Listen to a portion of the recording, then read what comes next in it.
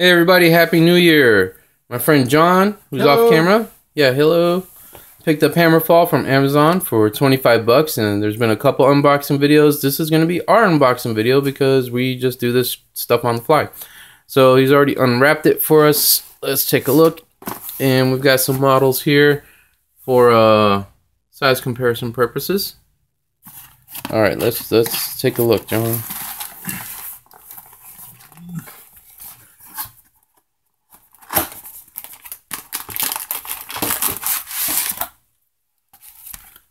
So first up, we have what I'm assuming is the rule book.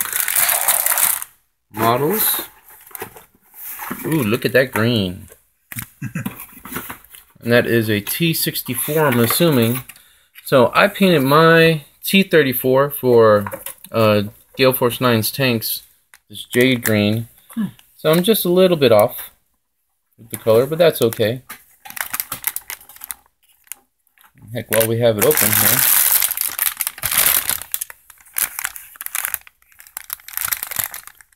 Yeah, it's a much bigger tank. Look at that top hole compared to the whole tank. Alright, anyway. So, let's see. And then we have a... It comes with a crew. Who is this crew? John, is this a U.S.? I don't know. Um, I'm going to assume that this is a U.S. tank driver.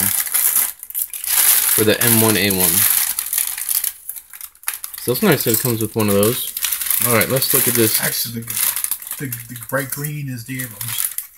Oh, okay, so this is the Abrams. Pretty big tank. Uh, let's compare it to our Super Pershing. Yeah, Abrams is obviously larger. But you know, this is World War III battles, so you gotta have a Cobra Hiss. so the Hiss is still bigger. Yay. Go for the Hiss. Let's see if the battery still works. Maybe. We got one laser cannon that works. Oh well. Anyway, so that's the M1. This is the T34, right? No, that's part of the M1 sprue. This is still the M1 sprue. Jesus Christ. That's got two Commander Cupolas in here that fell off. So, Okay. and here's a T64s. And the T64s. Mother Russia. And it's got more crew. These are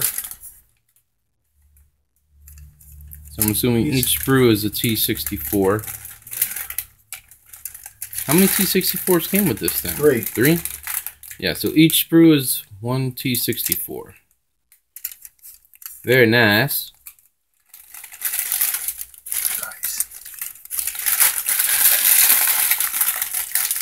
Course, comes with the dice. Red for Russian, blue for American. Makes sense, duh. Um, so I'm assuming you, you're only going to need three dice per unit? I, I have no idea. I gotta read the rules. Yeah, we haven't read the rules yet. We're going to play this because we are avid fans of Gale Force 9's tanks. So, from my understanding, uh, the the rules for Team Yankee are super easy, so it shouldn't be anything to just play a tanks game using the Team Yankees rules for the modern stuff. Your cards. Nice layout.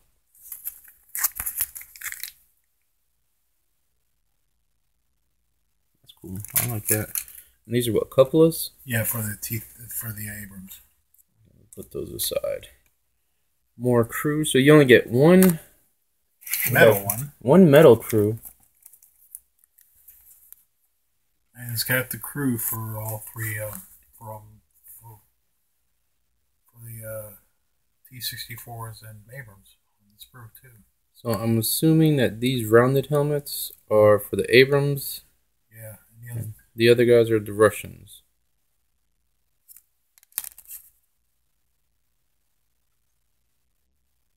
And he has somewhat of a Nazi thing going there. kind of weird. Alright. So, rule book. Soft cover rule book.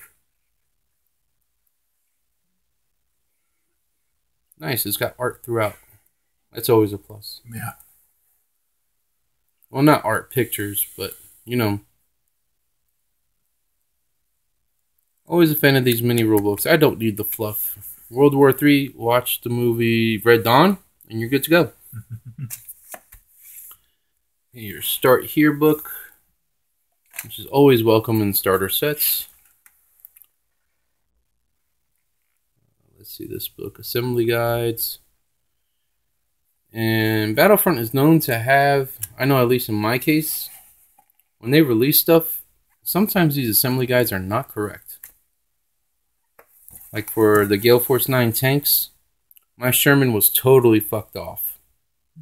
It, it had pieces going that didn't fit or anything like that. So, first game, movement and steps, shooting steps. Okay, so this is pretty quick.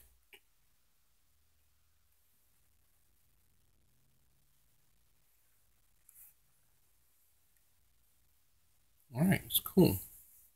And then we have Cardboard terrain. infamous cardboard terrain. So, I guess I think there's two pieces in there. I'm not sure. Whoops. Yes, there is. Okay, so uh, is this what's in there? Uh, no. No, this is something you buy separately. Yes. Of course, product placement. All plastic, yay! Red Thunder, Thunder.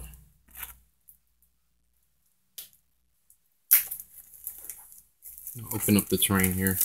Excuse me. Just piles and piles of plastic. So these were going to be for size comparisons, but I think you got the idea. And, you know, this is the Blockade Buster by Matchbox. Kind of hard to find. Right now, the current wave, if you find this, does come in gray. And this beast of a thing is from Fast and Furious 7. I can't remember what it's called. It's used, being used for Sci-Fi Army. Until we can figure out stats for Hammerfall. That should be interesting. Okay, so...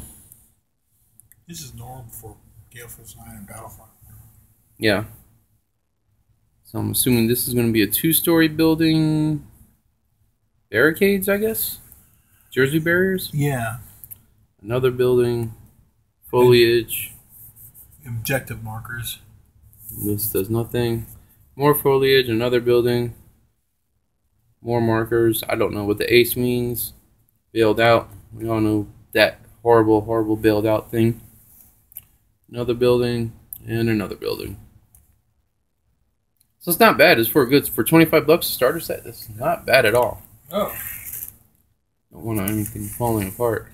Uh,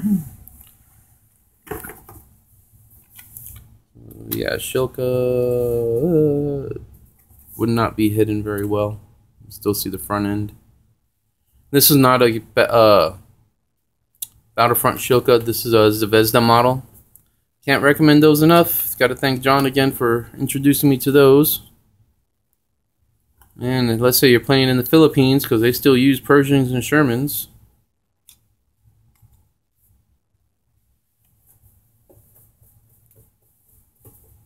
Alright, so that should be about it. Pile of plastic, some dice, one piece of metal. Alright, take it easy, guys. Have a good one. Mm-hmm.